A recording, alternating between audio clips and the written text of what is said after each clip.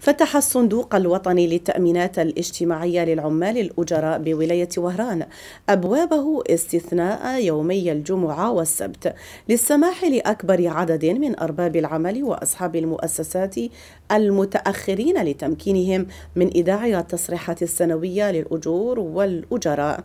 للسنة المنقضية 2021 وكذا الاستفادة من التدابير الاستثنائية المتعلقة بالإعفاء من الغرامات وزيادة التأخير والتي جاء بها الأمر الرئاسي رقم 1221 تغطية شرقي يوسف. راني آه، دار تسهيلات فيما يخص الناس اللي ما أدتش الواجب تاعها في الأيام الأسبوع. واليوم آه، رانا هنا التمسنا استقبال مميز من طرف العمال الصندوق الوطني للضمان الاجتماعي لتسهيل الإجراءات فيما يخص فيما يخص الناس اللي ما أداتش الواجب تاعها ولا الاشتراك تاعها ولا التصريحات السنويه في الوقت هنا راه كاين المتواجدين العمال. آه، من أجل تسهيل العملية ومن أجل امتصاص الضغط المتواجد طيلة أيام بسم الله الرحمن الرحيم. برقوقي قويدر آه، مدير فرعي للتحصيل والمنازعات لوكالة وهران.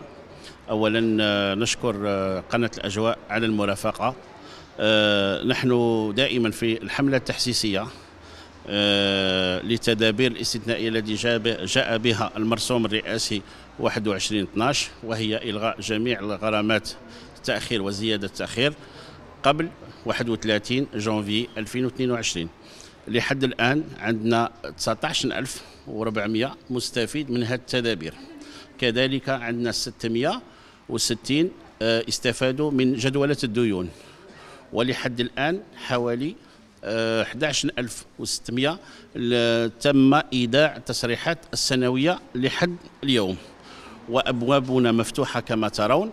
يعني في أيام العطل آه، يوم الجمعة ويوم السبت مفتوحة لكامل المستخدمين حتى يتسنى لهم الاستفادة ودفع الاشتراكات نتاعهم وتسوية وضعيتهم آه، دفع جدولة الديون أو دفع الاشتراكات الأساسية أو دفع التصريحات السنوية باش آه، لكي يستفيدوا من التدابير الاستثنائية آه، التي آه، الاجال اجال هذا المرسوم هي 31 جانفي 2022 قدومي المكلفة بالاعلام والاتصال وكالة وهران لصندوق الضمان الاجتماعي.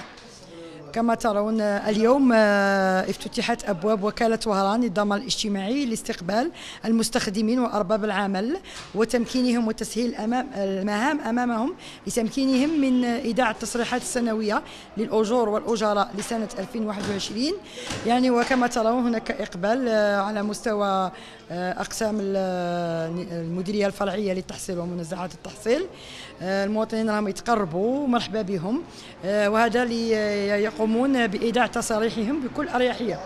هذا بالموازاة مع الاستفادة أيضا من التدابير الاستثنائية لفائدة آه، المدينين باشتراكات الضمان الاجتماعي والمتعلقة بالإعفاء الكلي من غرامات وزيادة التأخير وكذا جدولة الديون. يعني هناك إقبال للمستخدمين للقيام بجدولة ديونهم التي أقرها الأمر الرئاسي.